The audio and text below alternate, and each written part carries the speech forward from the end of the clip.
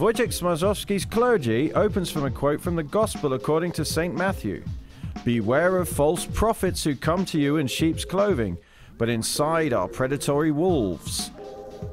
The film indeed will be largely an investigation into which of the characters portrayed is a true priest, who is only a little lost, and who is a dangerous predator disguised as a lamb.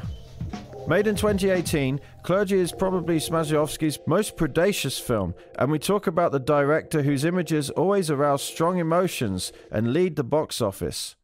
Clergy was seen by almost a million viewers in cinemas during the opening weekend alone. Then the number rose to a staggering 5 million. Smarzowski is often said to have portrayed the worst of Polish people and can point out their national weaknesses like no one else. It's no different in clergy, where he does not fall to his knees when talking about the priesthood.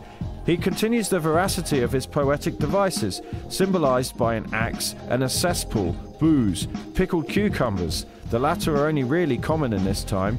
In spite of this bluetitude, almost every one of the priests portrayed in this film has something nice about them, no matter what his crime is, but they still have more guilty conscience. A village parson played by Robert Więckiewicz collects donations from the believers to renovate the church, but then drinks them to the last penny. He also has a lover, played by Joanna Kulig, who has just got pregnant. Highly placed in Krakow, Father Lisowski, played by Jacek Braciak, dreams about the Vatican while playing out the world of business, media, and politics. He will not retreat from anything to get a promotion. On the other hand, the good priest Kukuła, played by Arkadiusz Jakubik, under the influence of disturbing events, starts to lose his faith. There are three buddies from the seminary who meet every year for a libation to celebrate the anniversary of the former church fire from which they managed to escape. There is also the Archbishop of Krakow, a Sybarite, a politician, a businessman, a real godfather, played by Janusz Gajos, one of the most important contemporary Polish actors. In this role, he compiled the features of several well known and well founded Polish hierarchs and gave a bold performance. This must have aroused not only the audience interest, but also numerous protests from Catholic circles, because Smarzowski shows here are dark practices, priests. Alcohol and drink driving, nepotism, extortion of money from the faithful, blackmail, corruption, supporting nationalist militias, sexual excesses, including pedophilia. Clergy is a kind of cry for reform of the Polish Church, which is nearly lost, not only to abolish celibacy, but also the increase of secular control over the clergy to make finances transparent, to stop abuses of power and influence, especially on state structures and education. One of the most popular and respected directors of Poland, Smarzowski always looked for strong themes. In Traffic Department, he showed the drunkenness of police. In The Dark Horse, domestic violence. And in The Wedding, the hypocrisy of the Polish family. He was also not afraid of difficult historical subjects. In Rose, he talked about the post war expulsion of the Mazurians, and in Wołyń, about complicated Polish Ukrainian relations during the Second World War, which resulted in pogroms. In each of his films, a director gives the audience an unvarnished truth. He does not spare anyone nor take prisoners. Also, clergy has its funny moments. It's a proposal for viewers with strong nerves. It's particularly moving when showing the problem of paedophilia in a Polish church. Recently, it's been presented in other Polish titles. The phenomenon turned out to be a crowdfunding documentary by brothers Tomasz and Marek Sekielski called Just Don't Tell Anyone, which became the most popular film of Polish YouTube in 2019. Recently, the filmmaker showed a second part, also devoted to sexual exploitation of minors by the clergy, called Hide and Seek.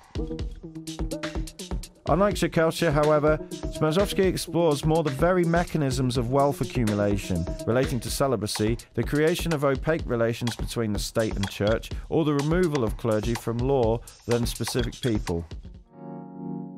The topic of Polish religiousness has often appeared on Polish screens recently, and in very different ways.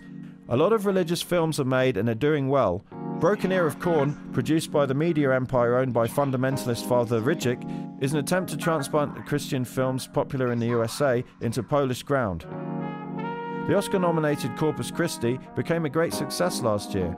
The film by Jan Komasa tells a story of a boy from a reformatory who impersonates a priest, and strangely, he heals relations in a village in eastern Poland. The film was appreciated by both progressive and conservative critics. The latter, in fact, gets a lot more sympathetic to the church than Smarzowski proposes. The phenomenon of Polish religiousness was developed, for example, by the television broadcasting series with a criminal thrill such as Vicarage or Father Matthew. It's a remake of the Italian Don Matteo series. Since the 1990s, works of art that express the fascination with faith, such as Faustina or The Primate Three Years of a Millennium, have been produced with pleasure. The trend intensified after the death of Pope John Paul II. There was even talk of so called papal cinema, which represented films co produced with Italy, such as Karol, the man who became Pope, and Karol, the Pope who remained a man. They broke box office records in Poland. Films devoted to nuns are a separate phenomenon. It's hard not to remember the masterpiece of the so called Polish school, Mother Joan of the Angels, by Jerzy Kawalerowicz, this visually stunning film, based on a short story by Yaroslav Iwaszkiewicz, inspired Ken Russell to create famous, scandalous The Devils in the 1970s and resonated in Poland as well. Barbara Sass filmed In the Name of the Devil about a monastic revolt, and French director Anne Fontaine has produced her award winning The Innocents with a Polish cast, which tells the story of Soviet soldiers raping nuns during World War II. These films, combining the religious and sexual sphere, aroused numerous controversies. But the religious subject matter in Polish films does not always come to light by showing the figures of clergy. Often the theme of Polish religiousness, Christian heritage, and its influence on the screen reality appears in a more subtle way. This is the case with Krzysztof Zanussi. Most of the films have the structure of a religious trieste,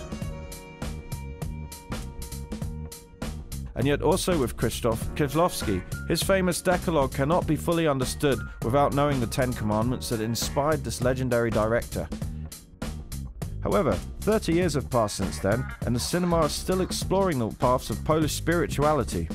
Sometimes, in the case of clergy, they prove that one turns a problematic morality into a superficial idolatry. It can lead to very dangerous areas.